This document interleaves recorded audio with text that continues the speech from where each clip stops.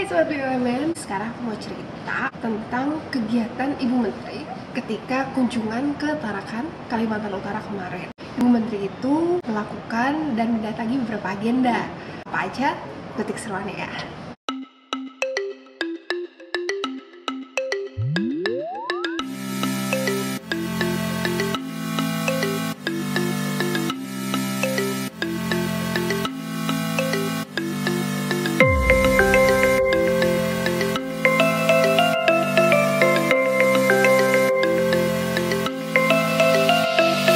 Jadi ketika di Tarakan kemarin, ketika baru sampai itu, Ibu Menteri langsung menuju ke tempat groundbreaking dari Rumah Sakit Pertamedika Tarakan.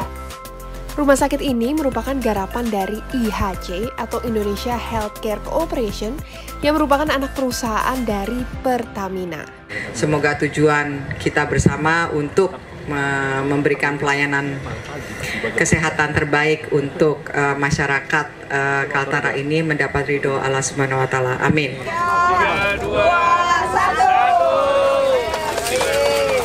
Setelah dari groundbreaking rumah sakit tersebut, Ibu Menteri kemudian langsung deh cus agenda berikutnya yaitu mengunjungi sekolah dan memberikan bantuan CSR SDN 003 Tarakan. sering baca, jadi banyak baca, belajar matematika, insya Allah jadi menteri. Terima kasih Terima kasih ya Bu Menteri sudah kasih sumbangan. Sudah datang dan bermanfaat bagi sekolah. Ibu Menteri juga mengunjungi Kampung Nelayan. Di Kampung Nelayan ini, Ibu juga turut ikut terjun untuk melakukan padat karya tunai, yaitu bersih-bersih di area sekitar Kampung Nelayan. Ibu, harapannya untuk eh, padat karya di Karya di Tarakan ini kita ingin bersihkan juga supaya bisa bermanfaat lahan ini dan tadi saya bilang kalau memang ada selokan yang bagus nanti tanahnya ini mungkin malah bisa buat tanam-tanam sayur mayur. Ya. Oke.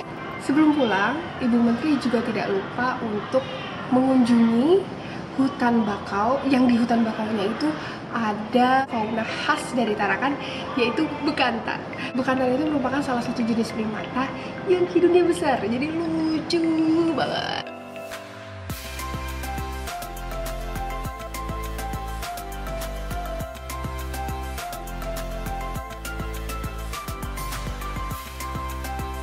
Oke Sobat BUMN, sekian cerita saya tentang kunjungan Ibu Menteri ke Tarakan beberapa waktu yang lalu. Saksikan terus ya vlog-vlog saya selanjutnya. Dadah!